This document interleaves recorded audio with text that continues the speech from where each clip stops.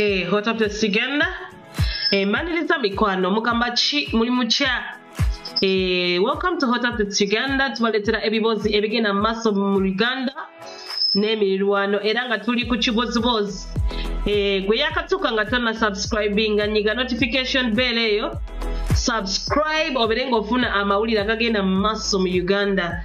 Bana musharinga evidiyo mbaleetedde ekiboozi bannange kitalo nnyo kitalo nnyo ddala. Ekya uaa president uae president sheikh khalid afudde era nga kitalo nnyo abadde amaze ebbanga nga alwana n'ekirwadde. Eh, amaze ebbanga nga alwana n'ekirwadde era ng'afidde ku myaka nsanvu mu esatu.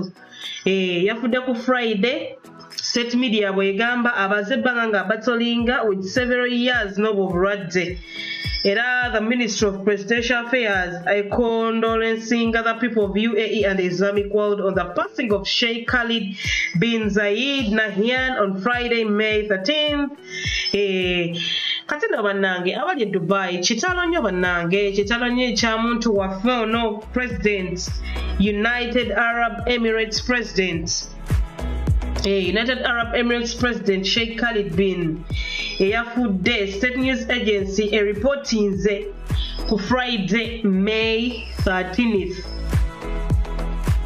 The Ministry of Presidential Affairs condolences the people of UAE and the Islamic world on the passing of Sheikh Khalid bin Zayed Nahyan on Friday 13th.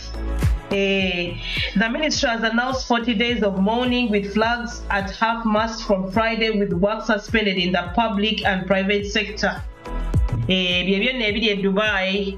Omwami oyo abadde muntu wa buvunaanyizibwa nnyo era nga mukulembeze wa state singa ttaano. Eh, nga bamuwa ekitiibwa kitalo nnyo amaze ebbanga nga batolinga n'obulwadde bambi kyannaku era nga bagenda kuwa dubai ennaku ana ngera fulaga eh, bagi flying at half mast.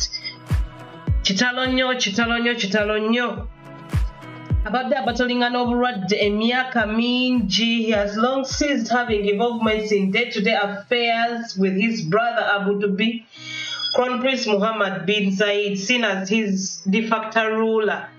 Banne katubasabire bannadubai e, mukama abagumye naye nga ekitalo nnyo ge gamawulire agaliwo. Omukulu oyo abadde w'amaanyi era nga musajja wa buvunaanyizibwa akoze kyamaanyi okudevelopinga amawanga ga uae era nga basinga mukimanyi e, fena tumawuningawo mu mikwano.